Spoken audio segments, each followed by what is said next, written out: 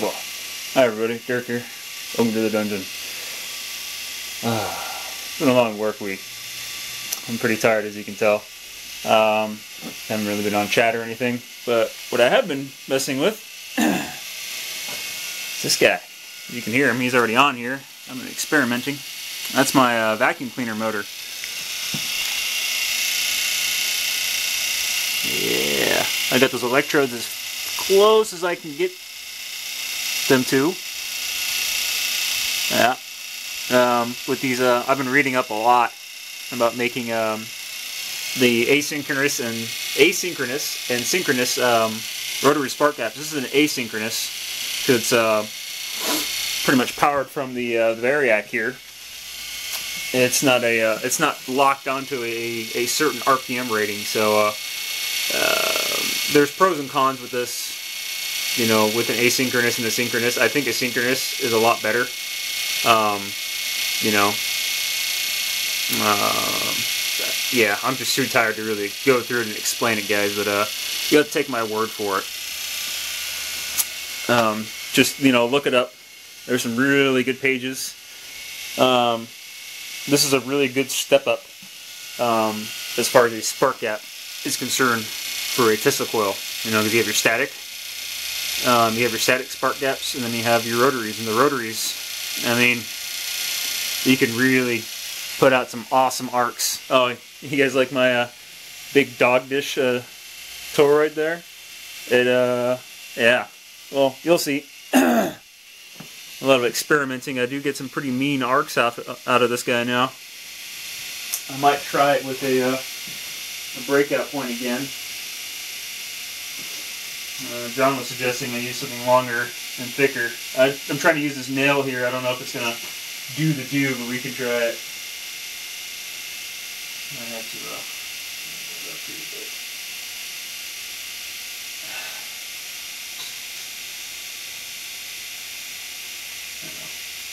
think that's gonna work. Right up.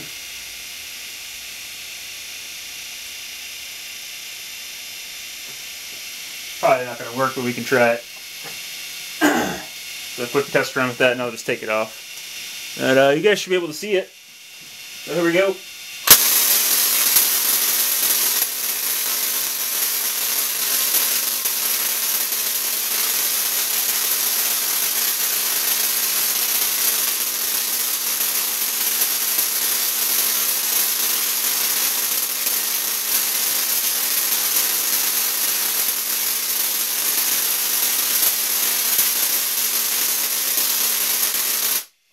Take that damn uh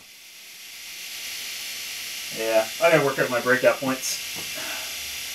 I got other stuff I can use. Let me try using this guy. Get a round top on there. Try that.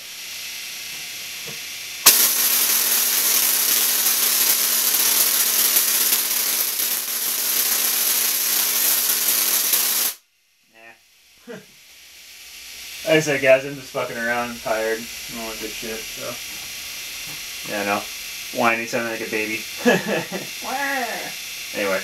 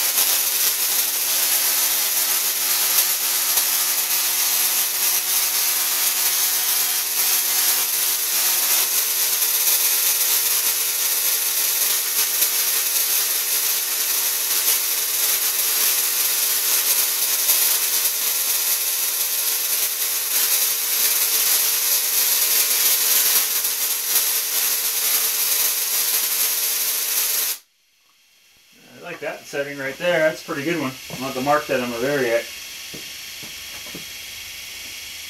Try that again with a, a different breakout point.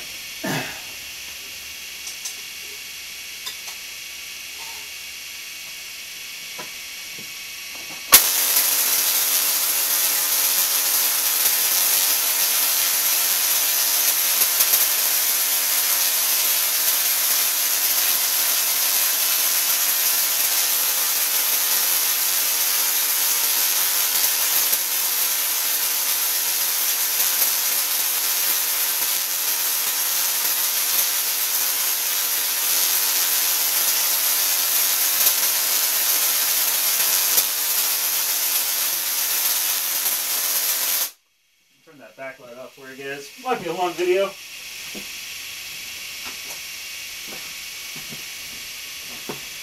That's a really good setting right there. So with an asynchronous, an asynchronous when you're playing around with the voltage on there, the motor has to actually catch up on the frequency.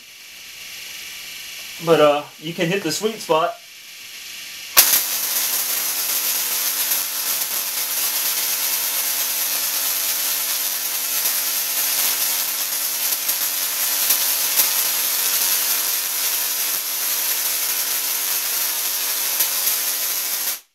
Try putting something on the end there.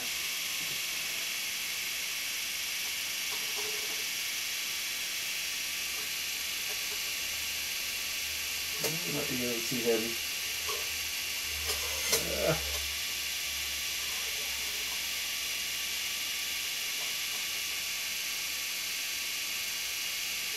yeah.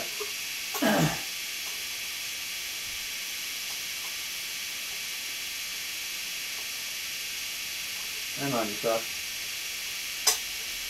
I don't want to do it. Piece of shit.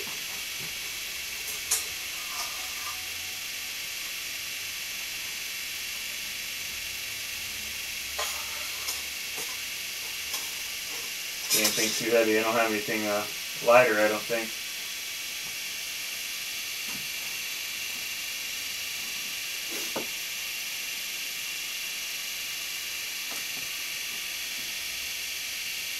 I put my nail on there again. See if that does anything.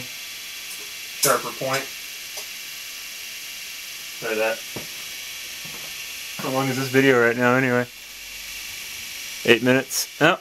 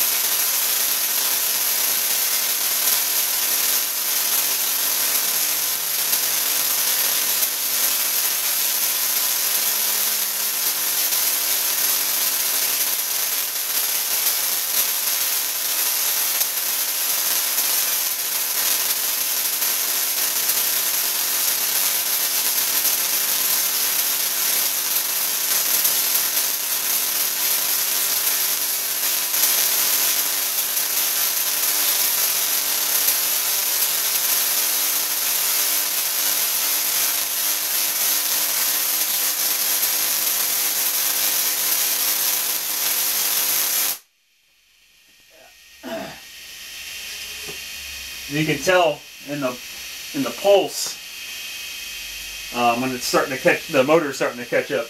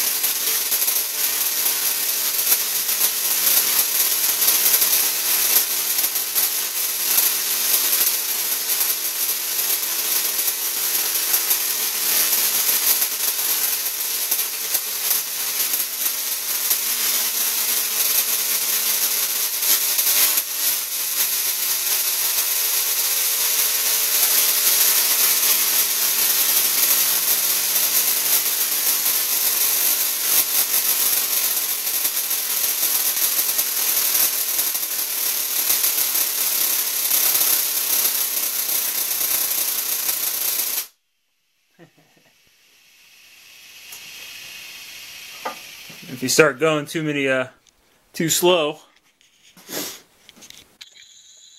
you can see what happens. Yep. So, it's time to give the NST a break. These WIMA caps, pretty awesome. I did blow one up before, but that's because I uh, I used a damn flyback. It was on uh, it was giving out 20 kV. I didn't realize it at the time. But uh, I do have the safety gap here for this, and there's also a safety gap over here. I know you guys can't see it very well. Uh, flashlight. There's a safety gap right in front there. No, I didn't have it up there, but uh, yeah, that's running to the ground, running to the NST. Just letting you guys know. Fifth turn on the primary. So, hope you guys enjoyed that. Be a long video, but uh, it's gonna be pretty, plenty of fucking cool arkage. so, thanks for watching. Cheers!